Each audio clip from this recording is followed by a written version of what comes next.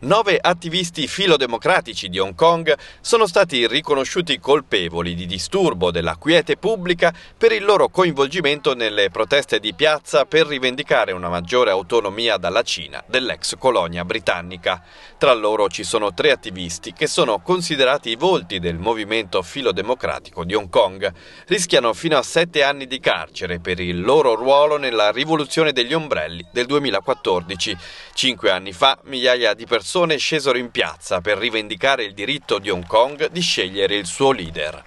Tra i condannati c'è l'Occupy Trio, il terzetto di occupazione, formato dal professore di sociologia Chang Kim-man, dal professore di diritto Benny Tai e dal ministro battista Chu Yu-ming.